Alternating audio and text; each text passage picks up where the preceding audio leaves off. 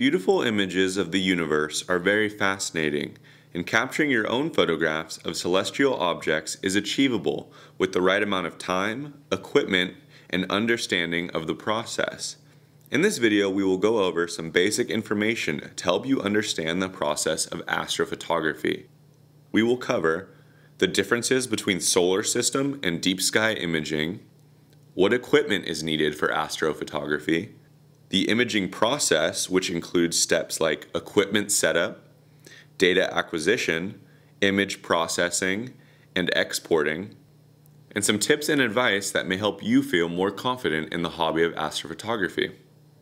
There are two different types of astrophotography solar system and deep sky.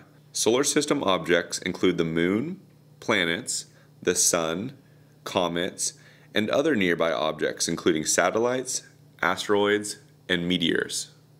These are bright objects that require short exposures and specialized techniques to enhance details. A lot of solar system cameras record video files instead of a single exposed image file.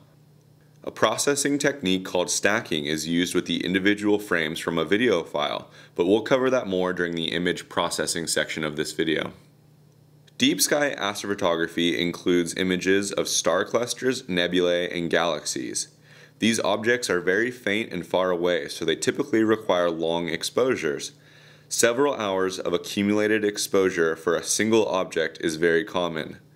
Sometimes the photographer will even use exposures from multiple nights of imaging to bring out the desired detail.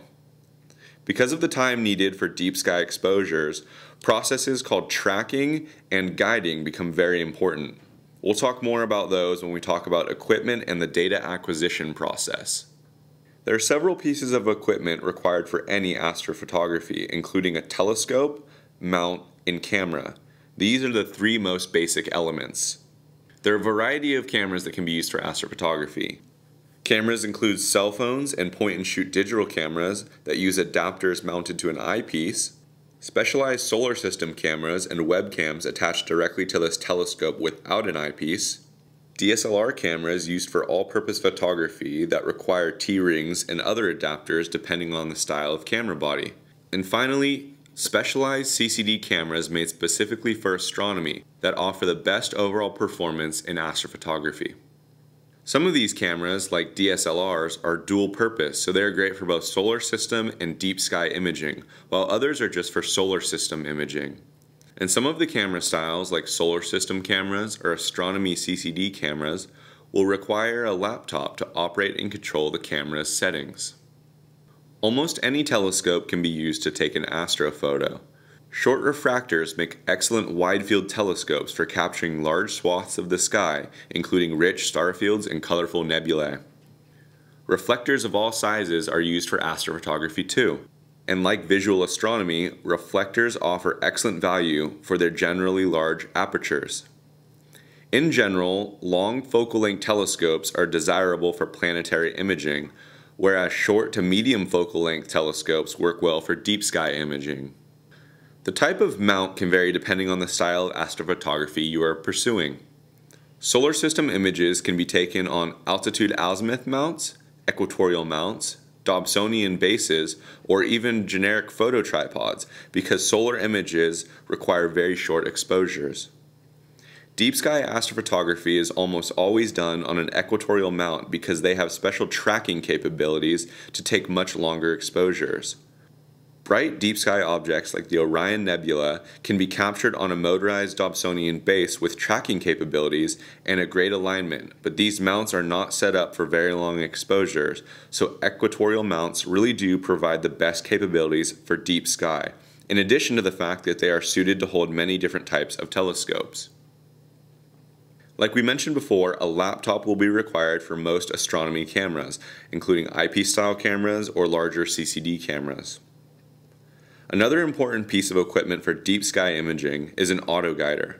Because objects move in the field of view, the imaging system and mount must track seamlessly with the apparent motion of the night sky to prevent oblong stars or star trailing. Autoguiders help correct and prevent tracking errors that may be unavoidable with motorized equatorial mounts and provide the sharpest images. Autoguiders can be coupled to the same telescope used for imaging with the use of an accessory called an off-axis guider, or an autoguider may be attached to a smaller separate telescope called a guide scope. Other accessories such as filters, Barlow lenses, focal reducers, electronic focusers, power supplies, dew zappers, and many more can be and are often used during astro imaging. Now onto the process of capturing your photos. Once you have acquired all the right equipment and established a suitable imaging location, the fun part begins. The first part is equipment setup.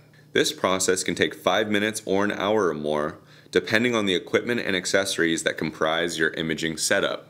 Once you've set up your mount and telescope, attached your cameras and accessories, and found the desired object you will be imaging, it is time to begin data acquisition. Data acquisition can be a single exposure or many hours of data collected onto a laptop from a cooled CCD imaging camera. The data acquisition process is completely unique to each imaging setup and the object being imaged. There is no right or wrong exposure time. Astrophotography involves a lot of trial and error, but the more you practice, the more comfortable you will feel when acquiring data for the next image. Once an image is captured, you can begin refining it and enhancing the detail in a very important step called image processing. Image processing is the conversion of raw data to a final composed image which can later be refined in post processing. Like we mentioned earlier, some solar system imaging cameras will record video files during data acquisition. One of the processing techniques used for solar system images is called stacking.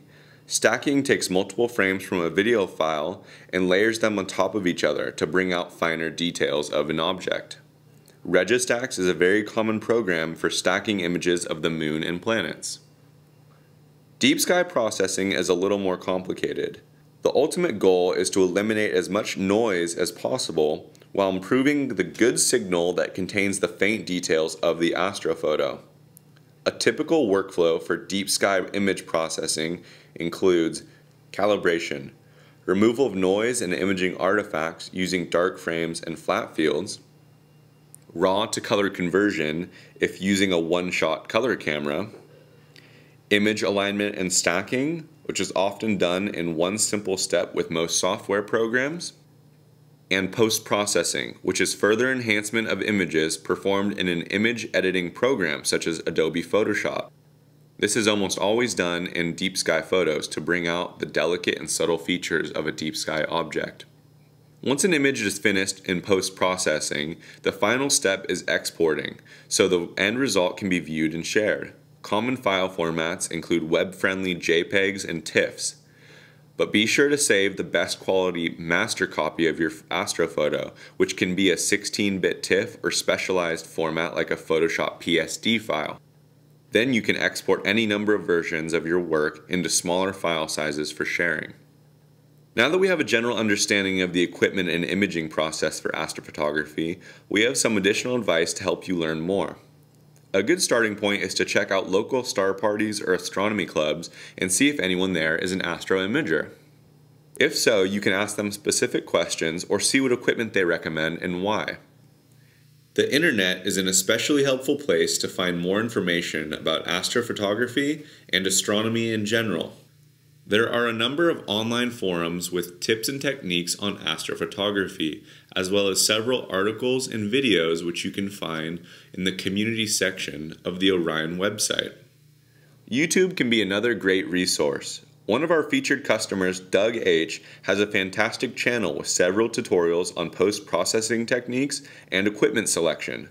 Doug is an avid imager who is more than willing to share his own experiences and advice, so please visit his YouTube channel, youtube.com slash dougdog, or visit his personal imaging site, myastroimages.com.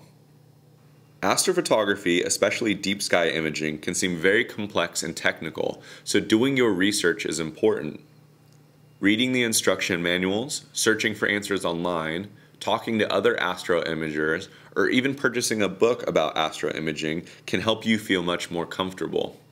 And of course, the last thing to remember is to have some fun. Astrophotography is a great hobby, but you need to be aware that it can be frustrating at times too. Part of photography is learning from your mistakes and understanding how to improve. Practice, practice, practice. Once you refine your skills, you'll be able to capture stunning photographs of our universe that amaze yourself, your family, and your friends. We hope this video was helpful to you and from all of us at Orion, clear skies. This video contains several astrophotographs that were captured with a wide range of equipment in varying locations and under different sky conditions. These photos are intended merely as examples to supplement the processes and techniques we discussed in this video. They do not represent what you will see visually through a telescope. You can find more information about each photograph in the image galleries of telescope.com. Thank you.